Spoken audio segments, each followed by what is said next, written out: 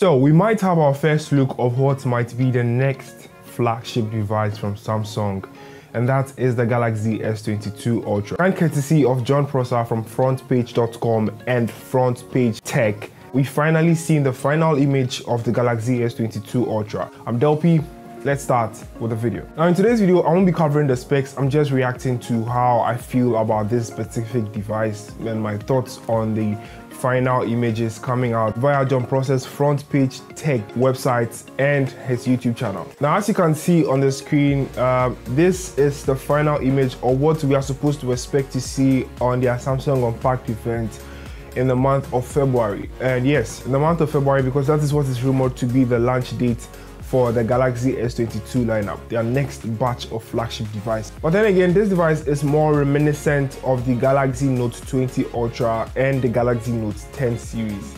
But it is a very sweet device in my opinion. If we take a look at the rear side, which is more reminiscent of the Galaxy A32 in terms of the camera design I mean, it still is a flagship device and you can see that it still has a premium look with the curved edges and the glass back. Of course, the rear side looks like it has glass. We haven't felt it, so we don't know.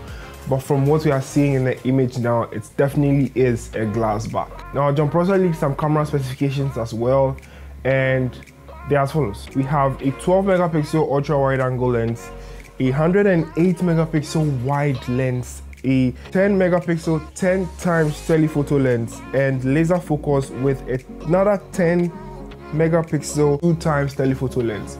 Of course, these specifications are quite crazy, uh, especially in the camera department. These numbers are huge. We are yet to see how well they'll perform in real life. Now, so far, this is what we have for the Galaxy S22 Ultra, the big boy, which is more reminiscent of the Note because it has the S Pen as well, a slot for the S Pen in there and I'm really happy, really excited to have such a device again, which basically means that the Note isn't entirely dead, it's just a rebranded device being called the S22 Ultra. I'm Delpy, this has been my thoughts on the Galaxy S22 Ultra that has been leaked and stay safe and peace out.